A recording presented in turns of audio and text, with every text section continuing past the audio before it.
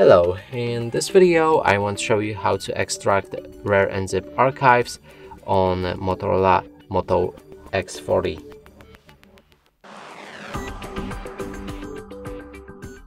To do this you'll need to get the RAR app I showed you previously on how to download. Now let's open uh, this app and I should have it somewhere around here. If not, it should be right there.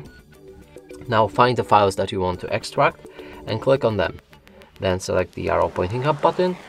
This way you will enter extraction options. You can customize those options however you like, but it's not necessary.